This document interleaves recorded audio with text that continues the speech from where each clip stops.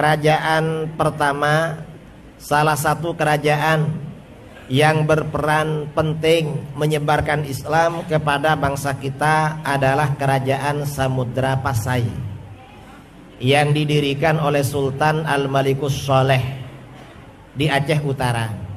Itu kerajaan pertama.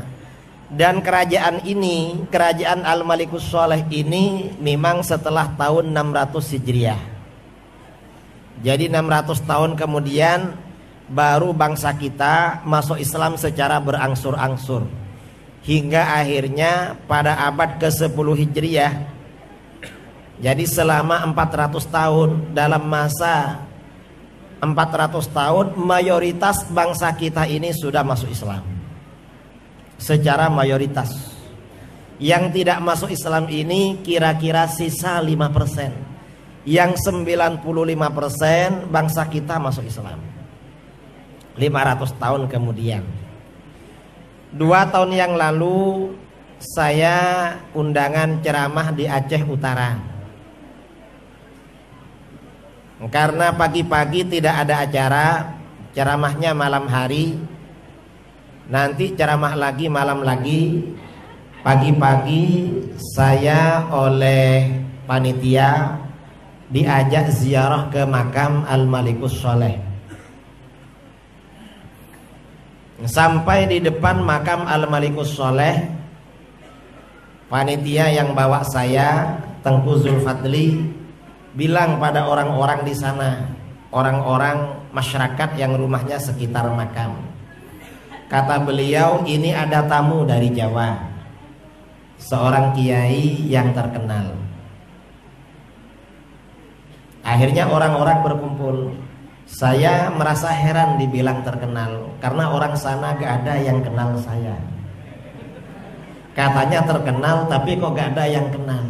Mungkin terkenal menurut yang kenal. Bagi yang tidak kenal belum terkenal. Setelah berkumpul di situ, lalu orang-orang cerita, orang-orang sekitar makam itu. Apa ceritanya? Cerita tentang musibah tsunami tahun 2004. Apa ceritanya? Kata mereka, tahun 2004 mungkin adik-adik belum lahir waktu itu.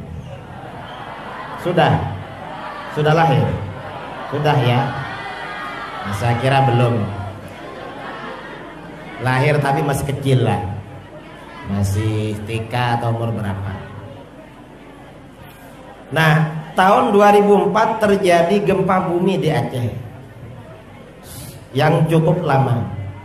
Setelah gempa bumi lalu gelombang tsunami air laut masuk ke darat. Dan air laut ini masuk ke dalam rumah-rumah. Anehnya di makam Al-Malikus Soleh di kuburan Al-Malikus Soleh tidak dimasuki air. Padahal tidak ada tembok yang menghalangi. Akhirnya apa? Karena khawatir terjadi gelombang tsunami susulan, orang-orang sekitar 49 orang yang rumahnya ada di sekitar makam yang sudah dimasuki air berkumpul di makam Al-Malikus. Mengapa berkumpul takut? Takut ada tsunami lagi. Dan memang betul 30 kira-kira 30 menit kemudian gelombang tsunami yang lebih besar datang lagi. Ombak gelombang tingginya 30 meter. Ini masjid ini berapa meter? Ini gak sampai 30 meter. Ini mungkin ke atas kira-kira 15 jadi air laut tingginya 30 meter datang menerjang. Setelah air laut ini masuk ke darat, lalu kembali lagi apa yang terjadi?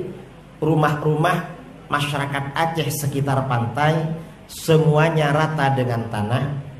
Saudara-saudara kita umat Islam kira-kira hampir 300 ribu meninggal dunia kena tsunami. Dan yang aneh, subhanallah, 49 orang yang berkumpul di makam itu selamat. Mengapa selamat?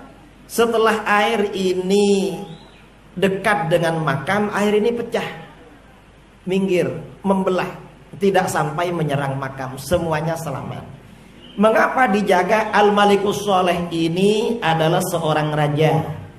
Beliau ini bukan hanya raja tapi seorang ulama.